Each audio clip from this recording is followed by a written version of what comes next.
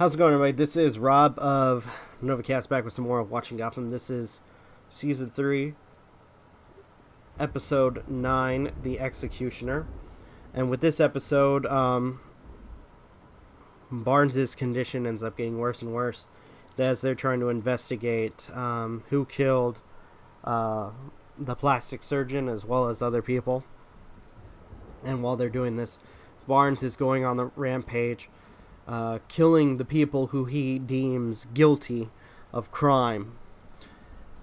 Um, and I will say, with this particular episode, it kind of shows how Gordon has grown in a sense, where at some point he probably would have agreed with Barnes and what he was doing, but knowing the fact that he is under the influence of the of the Tetch virus makes it harder for him to uh, accept the things that Barnes is saying.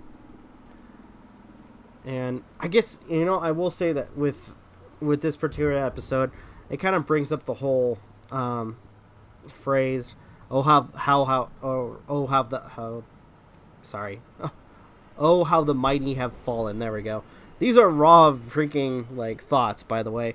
I freaking just take this video or watch the video or episode and then do my thoughts on it.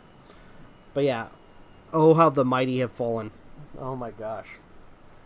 And sure enough it shows how far he's fallen when we get a depiction of him in Arkham. It's really, uh, I guess, upsetting. And, um, oh, in between this, we also have Bruce, who um, goes with Selina Kyle to help Ivy, who has revealed herself after all this time, which Selina, Selina Kyle is pissed off about that. And all in all, they're being chased by some assassin.